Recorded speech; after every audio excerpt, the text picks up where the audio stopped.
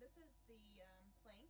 Um, this one you're just going to want to hold for as long as you can um, and then just keep going from there. So if you can hold it for 10 seconds, do that and then um, next time aim for 15 seconds. So um, a plank is, um, you're just going to go up on your forearms here.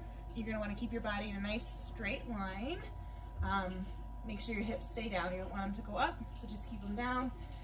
Um, legs hip width apart and then you're just going to hold that for as long as you can.